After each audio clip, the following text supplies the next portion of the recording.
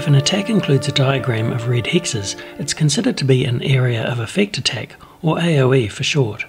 The red hexes will be targeted by the attack, and the yellow hex indicates the position of the attacker. Unless stated otherwise, AoE attacks affect all characters, whether friend or foe.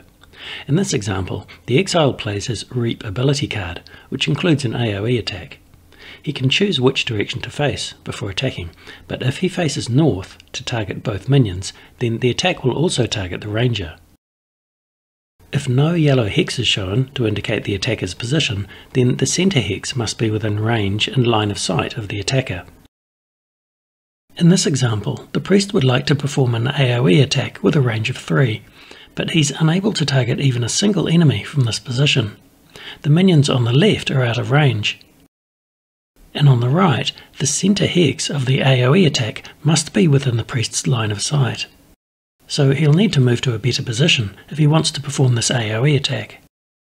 A cone attack is a type of AoE attack which spreads out from the attacker in a 120 degree arc, like this. Cone attacks are unaffected by line of sight. Finally, note that AoE attacks cannot target more than one hit point die on a large enemy. In this example, the Cur performs an AoE attack which covers four hexes of a large enemy. This makes the attack a little bit more powerful, with one additional point of damage for each extra hex included in the attack, beyond the first. In this case, that means plus 3 damage. If the attack causes the enemy to lose any hit points, then they'll come from the body location closest to the attacker, in this case, the left flank.